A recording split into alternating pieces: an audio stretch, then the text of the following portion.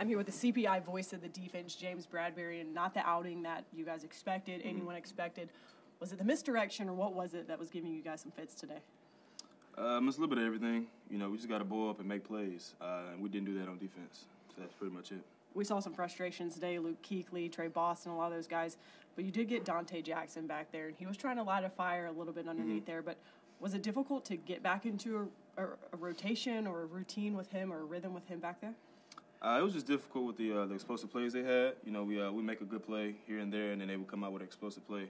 So as long as we stop the explosive explosive plays, then we should fare well. Of course, we didn't fare well today because we didn't stop it. So Well, of course, it is a long season. This is one game. You can't look too much into it. But how much attention do you put on this game to then to be able to rebound?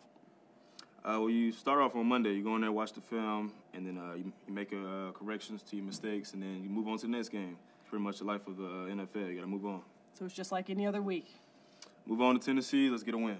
Great. Thank you so much for joining us. Uh, thank you. James.